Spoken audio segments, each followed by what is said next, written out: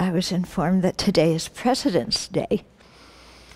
So, uh, you know, it's a holiday. so, uh, I like sometimes to relate the holidays to the Dharma.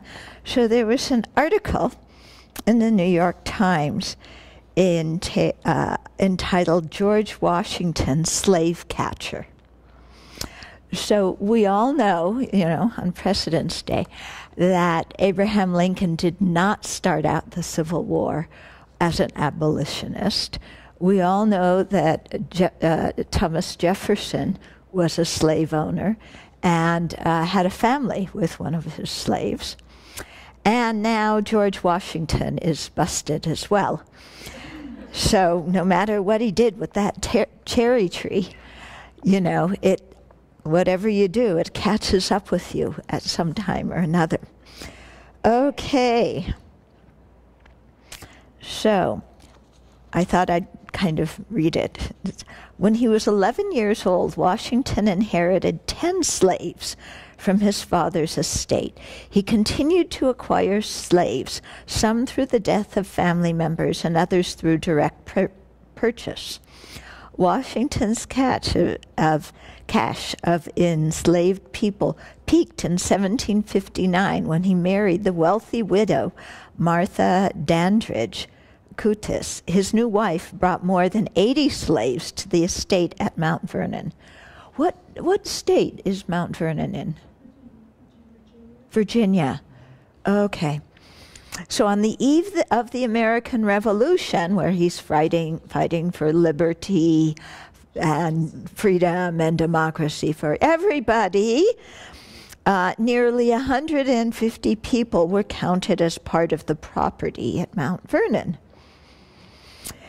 In 1789, Washington became the first president of the United States, a planter president who used and sanctioned black slavery. Washington needed slave labor to maintain his wealth, his lifestyle, and his reputation. As he aged, Washington flirted with attempts to extricate himself from the murder, murderous institution, uh, but he never did.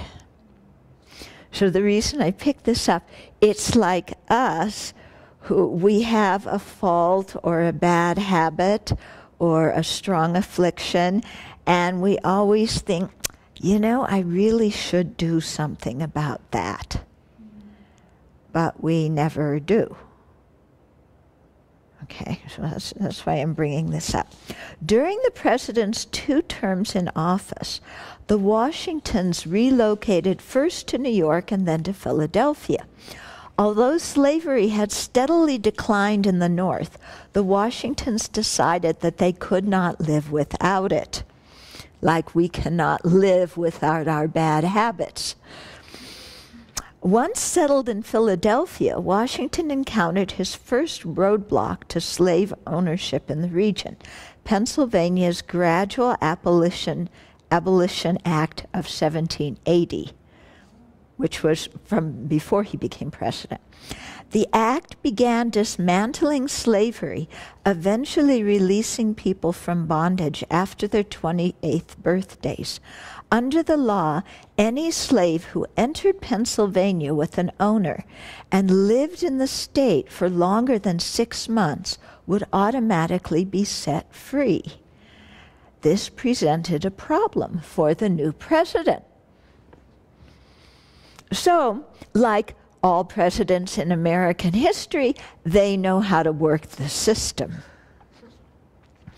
Washington developed a canny strategy that would protect his property and allow him to avoid sc- public scrutiny. Every six months, the president's slaves would travel back to Mount Vernon, Vernon or would journey with Mrs. Washington outside the boundaries of the state. In essence, the Washingtons reset the clock, i.e., Okay, it's kind of like the immigration debate now. You go back to your own country for a while and then come back. I mean, you, you work the system. Okay, the president was secretive when writing to his personal secretary, Tobias Lear, in 1791. I request that these sentiments and this advice may be known to none but yourself and Mrs. Washington. Okay, so that's like us. You know, we have our bad habits. We work the system in the sense that we know how to make it look like we don't have those habits, you know, or we do negative deeds, but again, you know, you take the slaves out of the state, you work the system. So we put on a front, and then nobody suspects that that you know when we're alone, we're really doing what we're doing, and you know who knows what in the world we're doing that we're trying to extricate ourselves from, but we just can't bear to to do it. Okay, you have some habits or behaviors like that? Anybody? Okay, uh, you know, let's be honest about it. So the president went on to support policies that would protect slave owners who had invested money in black lives.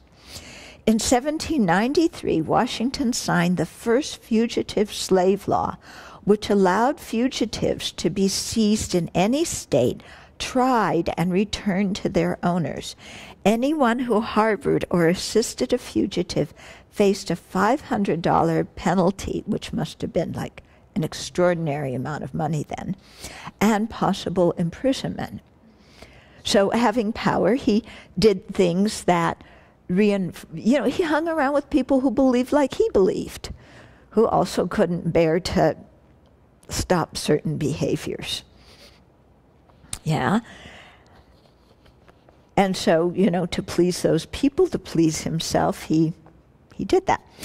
Okay, so Washington almost made it through his two terms in office without a major incident involving his slave ownership. On a spring evening in May 1796, though, Ona Judge, the Washington's 22 year old slave woman, slipped away from the president's house in Philadelphia. At 15, she had joined the Washingtons on their tour of Northern living. She was among a small cohort of nine slaves who lived with the president and his family in Philadelphia. Judge was Martha Washington's first attendant. She took care of Mrs. Washington's personal needs. And she bolted. What prompted Judge's decision to bolt was Martha Washington's plan to give Judge away as a wedding gift to her granddaughter.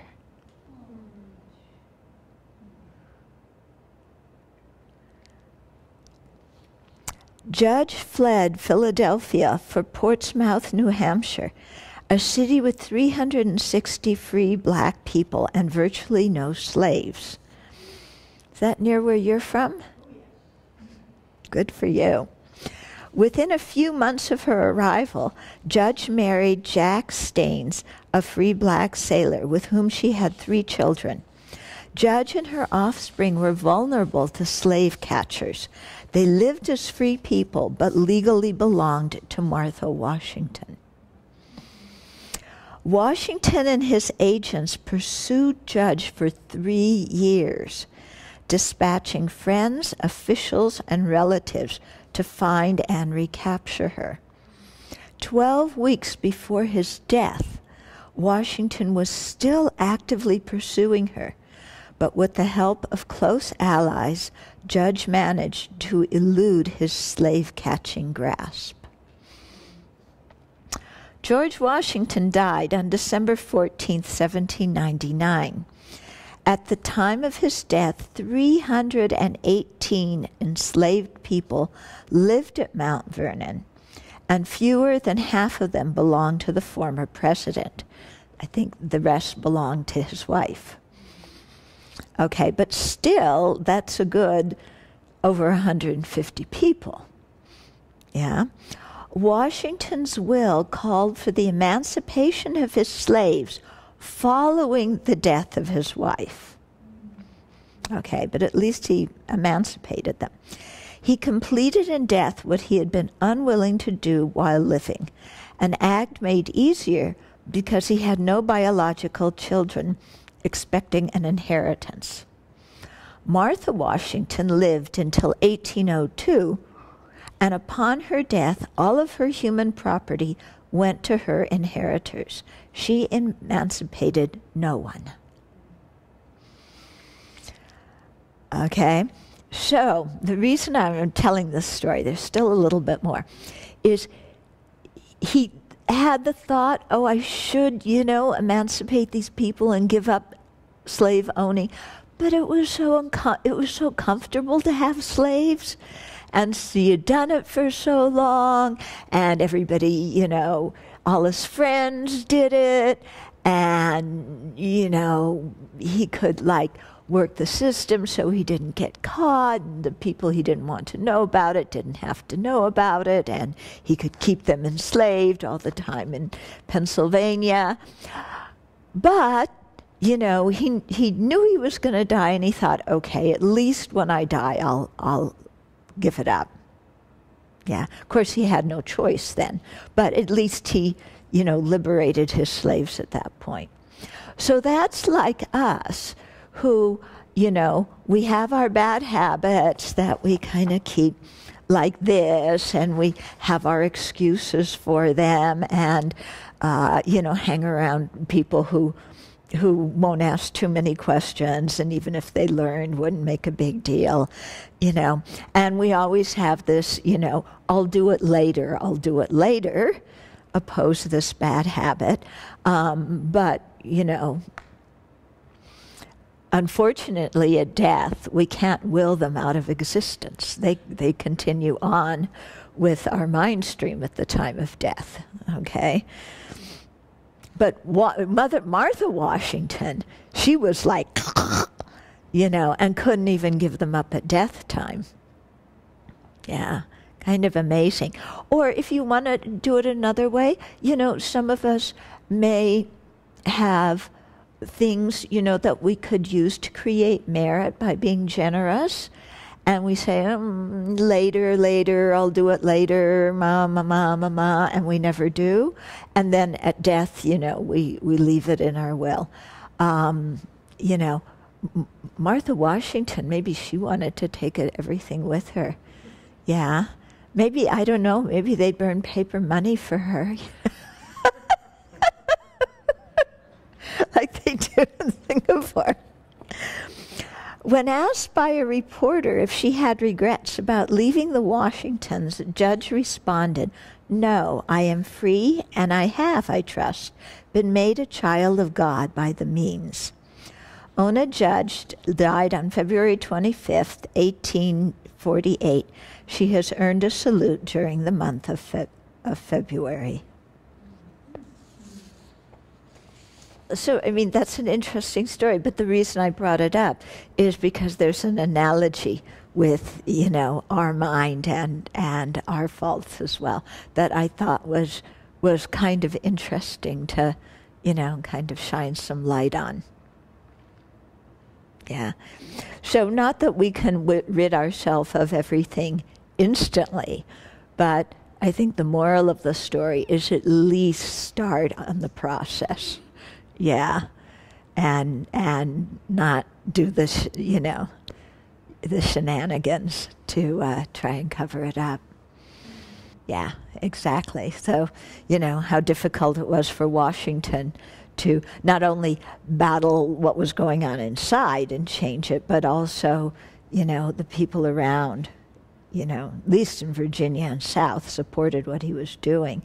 And, uh, and so similarly for us, you know, if we hang around people who who support our uh, our bad behavior, then we'll continue with it. And so your point was how important it is to be around the people that we want to become like. Yeah. And to practice together with people.